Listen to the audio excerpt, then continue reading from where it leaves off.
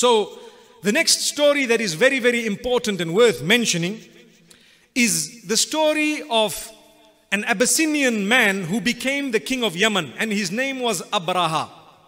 And this Abraha, he was the king of Yemen, and he was a Christian man who had built a church in Yemen, and he wanted people to flock there for many reasons to worship there as well as for business purposes. And he was told that no, we have in Mecca, there is this house that everyone goes to, and you need to deal with them if you want people to come here.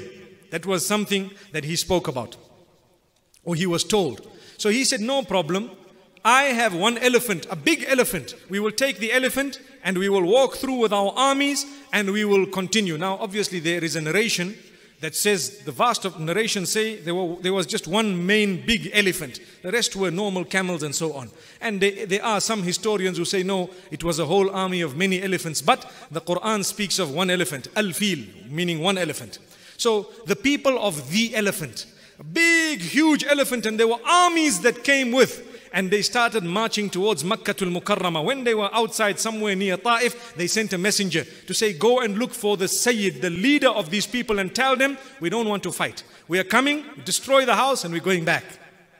So Abdul Muttalib was the leader. He was told, this is what the man is coming for.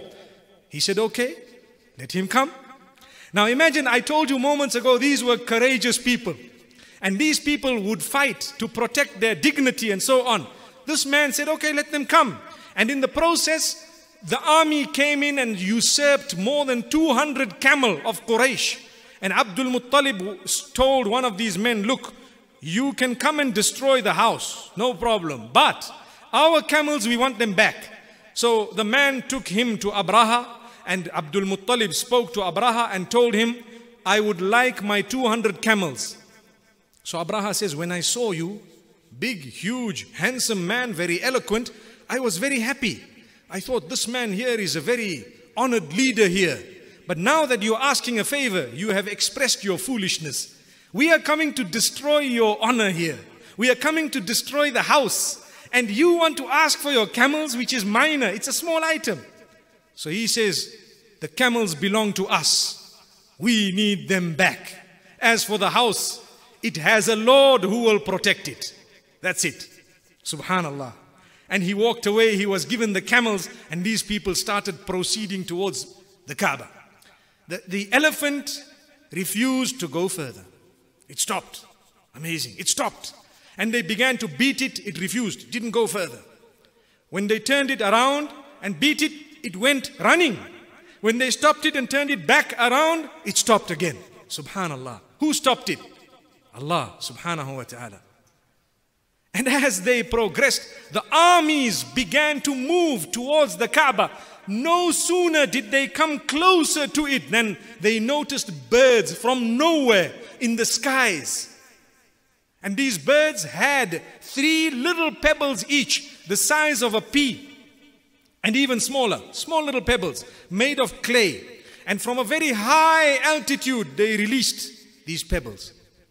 And the pebbles came down at such force. You know, today we have, we learn about gravity and we learn about Newton and this one and that one. Wallahi, if you take a look at this explanation of Surat Al-Fil, you will come to realize that that altitude, when it dropped from there, the small pebbles went straight through these men and killed them on the spot. And people were just watching. Allahu Akbar. Didn't Abdul Muttalib say that house has a Lord who will protect it? To this day, you need to remember the Kaaba is protected by Allah subhanahu wa ta'ala.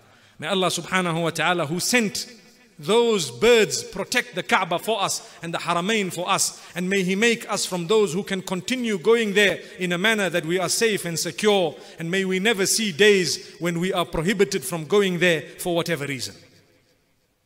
So Allah subhanahu wa ta'ala sent this and mention is made of this in Surah Al-Fil.